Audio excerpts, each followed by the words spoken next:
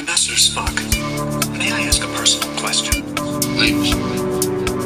As you examine your life, do you find you have missed your humanity?